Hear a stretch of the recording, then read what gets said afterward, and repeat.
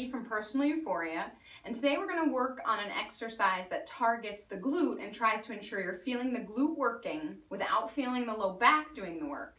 And to do that, we need the abs to help us stabilize. So you're going to come onto all fours, knees hip distance apart and hands shoulder width apart. Send one leg back, but keep it on the floor. Now, before you even move, think of your abs being connected, but neutral. So you're not trying to round the back or tuck under. You've got a slight arch in your back, and you're just gonna lift the leg up and down. And the goal is to feel that the butt is doing the brunt of this work. So if the leg goes too high, or if your spine moves, right?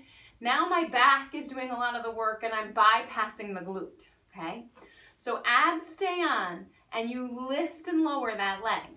You'll see that my leg's not getting that high, right? It's getting parallel to my body, maybe an inch, maybe two higher. So if I'm working from the glute, it's not a big range of motion, okay? Play with that. You can do 10 or two sets of 10 on each side, whatever feels good, but just try to start to be aware of whether or not you can actually get your butt to fire.